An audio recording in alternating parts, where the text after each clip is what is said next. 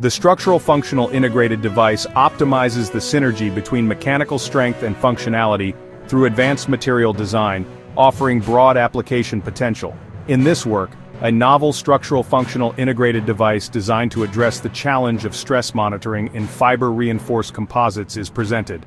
By incorporating potassium-sodium niobate piezoelectric material into carbon fiber-reinforced polymer composites, a load-bearing and piezoelectric integrated device is successfully developed. The device exhibits outstanding flexural strength of 377.7 megapascals and a flexural modulus of 18.8 GPa making it suitable for use as a structural material.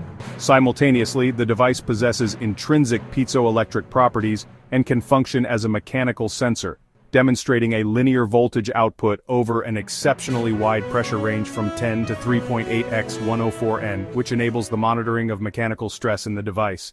Visit our website chemicalscientist.com and nominate your profile at International Chemical Scientist Awards.